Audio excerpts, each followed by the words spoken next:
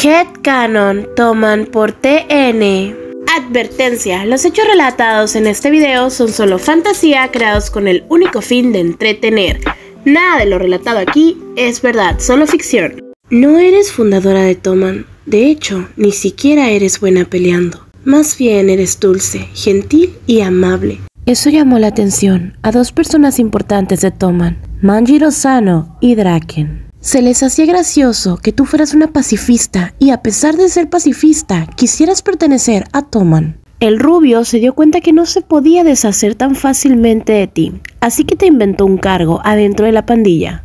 Tú estás a cargo de curarlos a todos después de un enfrentamiento entre pandillas. De poco en poco te fuiste ganando el respeto y la autoridad.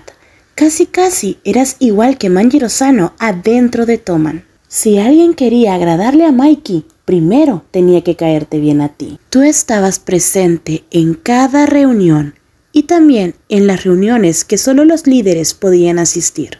Pero habían algunos que tenían el privilegio de estar contigo. En especial, Manjiro y Kenshin. Pero la cosa no paraba ahí. A veces estaba Baji o Chifuyo, tal vez Mitsuya o Sansu y Muto. Los gemelos Kawata eran demasiado celosos, así que por esas razones ellos no participaban a lo que tú llamabas reuniones secretas en donde hacían prácticas poco ortodoxas, pero de que se divertían mucho, se divertían. Después de eso, tus piernas parecían no querer funcionar y a veces el aire no te llegaba a los pulmones. Y es que tal vez eres una hambriada, pero ¿Para qué tener uno si puedes tener siete? Regresas a tu casa con una sonrisa de oreja a oreja, recordando todo lo que pasó, porque eso sí, recuerdas cada cosa y como ellos te dicen. No sabes cuánto esperé el fin de semana solo para tenerte así conmigo. Oh, Mikey, deja las formalidades.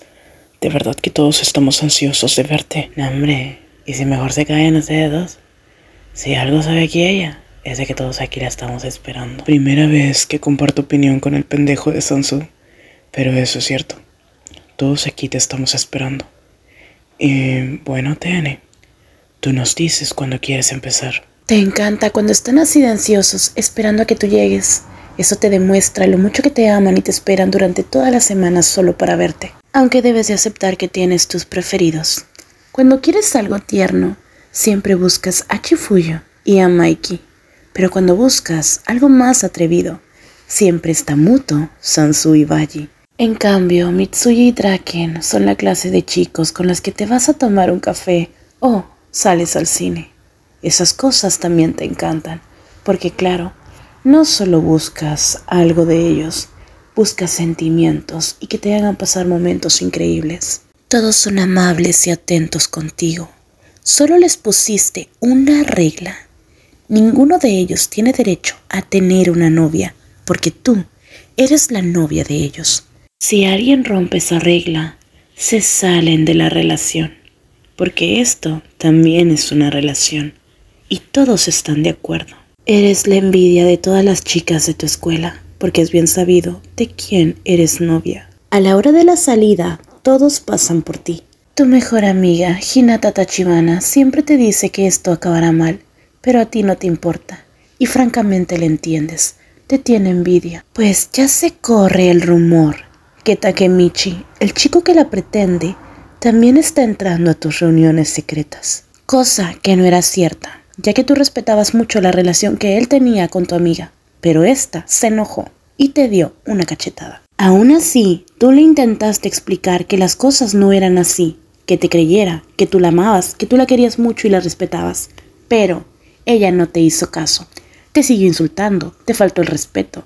Y fue ahí donde tú decidiste ya no decirle nada. Le comentaste a Mikey y este se enojó demasiado. Dijo que a él también le caía mal a chica, que ya una vez también le había hecho lo mismo.